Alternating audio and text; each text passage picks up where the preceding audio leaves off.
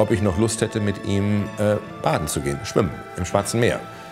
Und ich gesagt habe, Herr Präsident, bitte um Verständnis, aber wenn ich üblicherweise zu Gesprächen, zu Interviews mit Staatsoberhäuptern reise, habe ich keine Badehose dabei. Und sagt, das sei gar kein äh, äh, Problem, ich könne eine von ihm haben.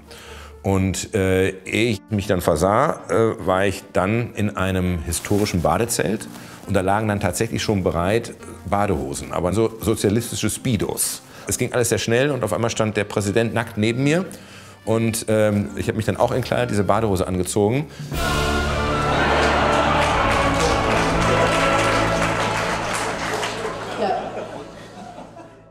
Das war so ein Moment, mit dem er einfach sein Gegenüber äh, überrumpelt. Und das waren so Dinge, die ich bei jeder Begegnung mit ihm so erlebt habe.